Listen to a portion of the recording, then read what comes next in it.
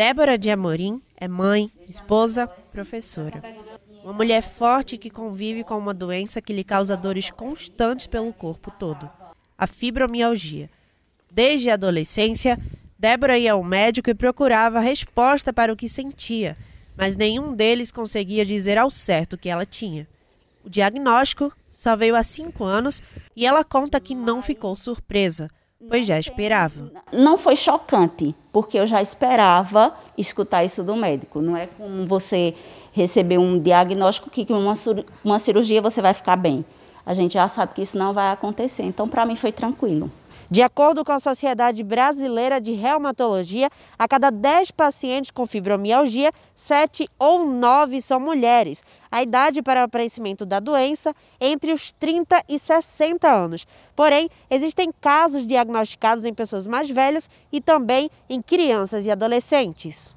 A reumatologista Júlia Caroni explica o que é a doença e quais os principais sintomas. A fibromialgia é uma síndrome de dor crônica. Ela é causada por uma sensibilização do sistema nervoso central que o paciente tem. Então, vai levar a uma resposta anormal e exagerada a estímulos periféricos, como o som, o calor e a luz. E aí, o paciente que tem fibromialgia vai sentir uma dor desproporcional ao que deveria sentir, certo? A dor é relatada como uma dor de moderada a forte intensidade, tá?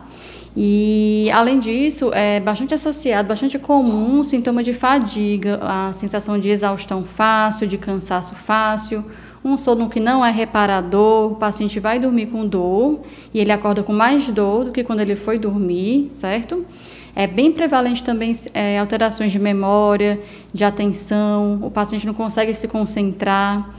É, e também há uma maior prevalência de sintomas de ansiedade e depressão também.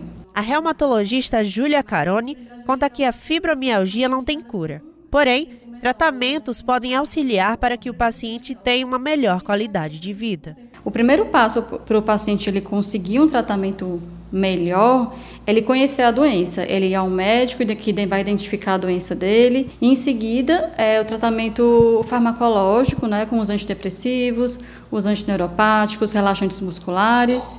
É, e o tratamento com exercícios também, exercícios físicos aeróbicos, uma caminhada, uma dança e o Pilates. O Pilates também tem embasamento científico já comprovado como tratamento da fibromialgia também.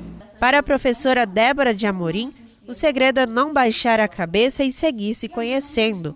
Ela conta que saber o diagnóstico fez tudo mudar pois o tratamento a permite viver melhor. Você tem que conviver com a dor, você tem que aprender a conhecer o seu corpo e, a partir desse aprendizado constante, conviver. Tem horas que a dor é muito intensa e você tem que parar para poder relaxar um pouquinho o corpo e conseguir depois realizar as atividades. E tem horas que você vai ter que, mesmo com dor, fazer, porque não é uma dor que vai embora.